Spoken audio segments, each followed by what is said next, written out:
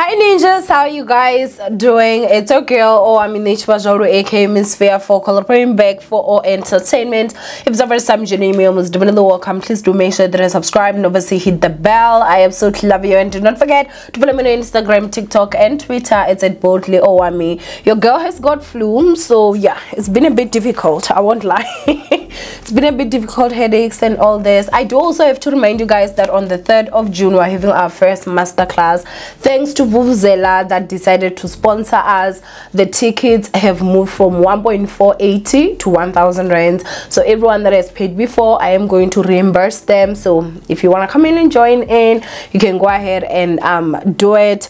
Um, yeah, anyway, there are numbers on the yellow banner that was there in the beginning of the video. I don't know if it's still gonna be here, but you can go ahead and make payment um, and then send a WhatsApp to the numbers that are there and then you'll be booked in. Anyway, just let's go ahead and get into this channel. Today we're going to talk about Cyan Boujee. She was trending, you guys, and the video that was actually trending here is this one everybody wanna be lit. Everybody wanna be rich. Everybody wanna be this. If was you i'd hate me bitch. Boujee life of Cyan i made some chili peppers with a filling of cheese bacon and lots and lots of meats and oh my gosh i couldn't peel out the thingies under. I don't know what they call them but um yeah it was disgusting because of that but we live to learn anyways i watched a cardi b interview while i was taking care of my flowers and then i decided that you know what i want to look like her because i just watched the interview. And after that i went out with him. We just got this like cute platter from milk and honey monte casino we also had like a couple of you know drinks just to feel good.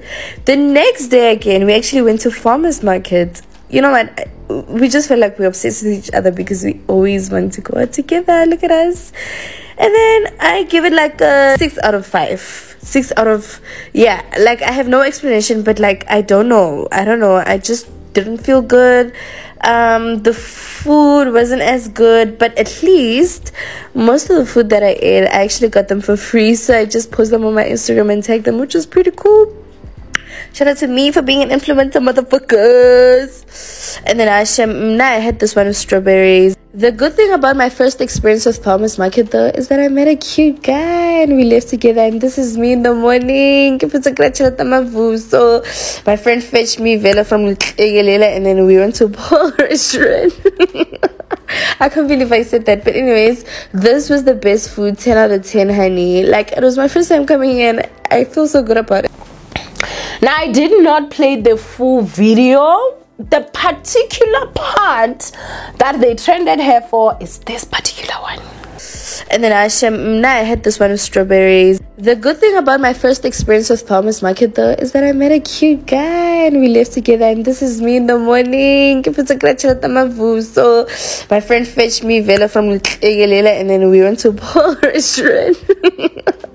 I can't believe I said that but anyway now yes let's go ahead and discuss it my ninjas. Cyan Boujee basically was doing her normal vlog on TikTok which is very good at those. I do enjoy them. I watch them all the time.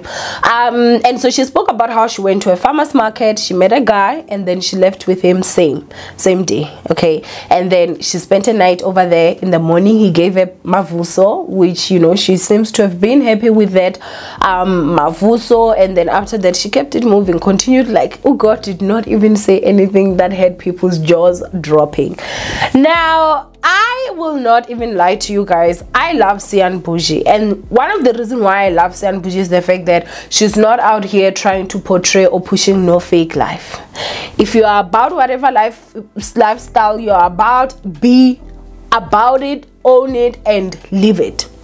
That's all we've ever asked. Don't claim to be this hardworking woman that is working 80 hours in 24 hours a day. Um, and then only like you know to be doing things like this behind the scenes. This is a lifestyle of most of your influencers and that is the honest truth. A lot of them get the most money that they make through men men that they've never met. They meet today they get a mavuso and maybe they become their sneak link or they become whatever. These girls honestly like they go through it you understand so for me i love that Cyan Boujee is open about it. She's truthful about it. Anybody coming out here and saying hey you met a guy at farmers market. You went slept with him and collected money for it. No she's out here telling it herself. Now why do i love that about her? I love the fact that obviously as i said she's open. Number two if you're someone that is going to decide to say that i want to become a dj you will have to understand that if you have to live up to the standard that Cyan Boujee lives it will take more than just being a DJ okay? It may take you also having to go to farmers market meeting a man sleeping with him and getting mavuso. I do remember that there was a time that she actually did um, this other vlog where she was talking about I think she went to Devon um, sorry oh this lip. Um i think she went to durban. She had an agreement with the guy that she was supposed to go to go to. I don't know if she went to him or they went to durban together. When they were in the club she wanted a certain bottle. I think that is an expensive one. And the guy said that oh they were out. But she was like i could see at the table having the bottle of alcohol that she wanted.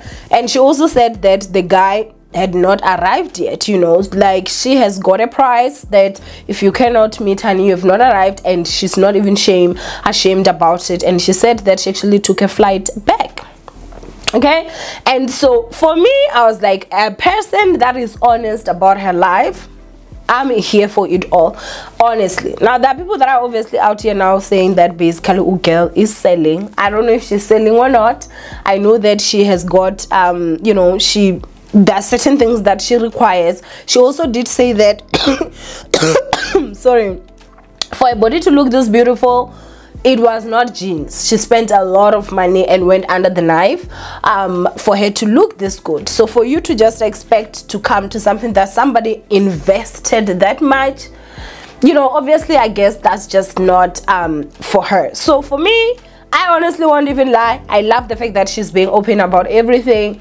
She's even vlogging about it. She's not here with no fake lifestyle where, you know, she does this in private, meet guys, sleep with them, get mavuso, go to Durban or go wherever, you know, get money and come back and claim, well, guys, I'm a hardworking woman. I'm a self-made. I, I started from the bottom. I, I'm doing this, which obviously I'm sure she did. But what I'm simply saying is that at least you know that in her journey, there's certain aspects that also gives her her money do you understand what i'm saying and so that's the part that i love and i think we're like throughout even from the beginning i've always said this we don't have a problem with your it girls. I don't know it girls or whatever influencers whatever. We don't have a problem with them.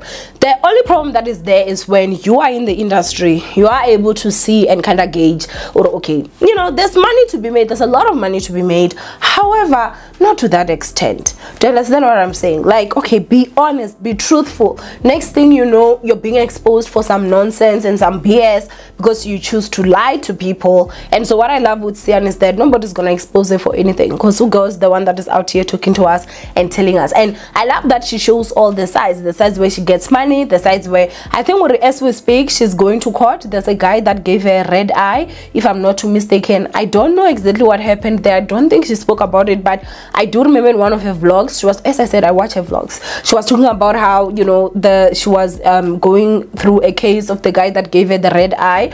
Um, you know, she has spoken about her journey, also having to go through uh, abortion, um, you know, and the story of what happened with that guy who allegedly is the one that even hacked all her social media accounts she had to start again from scratch which they have grown and so for me i am not even going to lie. I have no problem with her. I think that girl do you and if she's honest about it. I love it for her. No one is gonna go into the djing industry um eyes closed thinking oh i'm gonna do that stay in Sandton drive a mercedes benz um be popping champopo um and this and this. No it takes a lot takes different levels. Sometimes you gotta even have to fight men you're gonna be having to go to the police you're gonna have to know that yeah. And there were people that were also talking about her age. She is only 21 um and i would say that yes i do understand that you know she's still young. And sometimes when you're still young especially when you're like 21 you think oh i know everything about everything. Actually you do not.